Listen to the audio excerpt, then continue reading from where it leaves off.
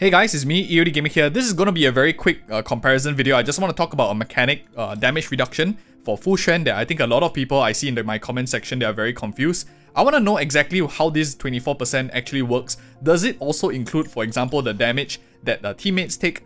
Uh, does it apply to them as well? Or is it only on the damage that she herself take?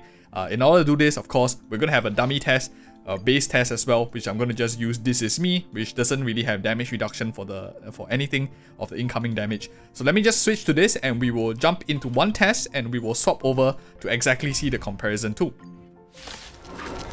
So for simplicity's sake, I'm just going to slow down the video to one time speed so we don't lose any numbers.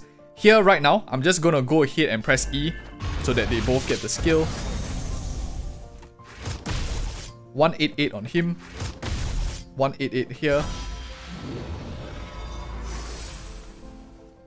This is with Landau's choice. I'm just gonna keep it consistent, pressing my E.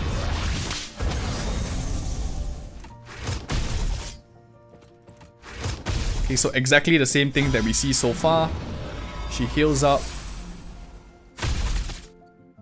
Okay, so what did the two tests uh, show us? First instance of damage, you can see that Fu Xuan took about 204 damage from the first instance, and in like the second part when she put on the Landau's choice, she only took 179 damage, which is about 25 uh, damage less. Of course, uh, I do think that other factors affect it. For example, like this defense is of course much lower for Landau's choice compared to This Is Me. That is something that definitely will affect one of the numbers that we calculated. But other than that, I think that this shows that uh, Landau's choice definitely is much better for Fu Xuan because any of the damage that her teammates take all get damage reduced uh, with Landau's choice and this is why I think like Landau's choice is probably her best in slot if you don't have a 5 star equivalent like maybe you don't have enough resources to get the free to play light cone in the Herta shop yet or maybe you don't have a signature light cone. I personally am using Landau's Choice and I like it a lot for this reason too. I hope you enjoyed this very short test, very straight to the point as well. Like and subscribe if you want to see more straight to the point content like this on YouTube.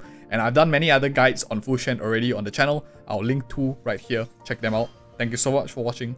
See you in the next video.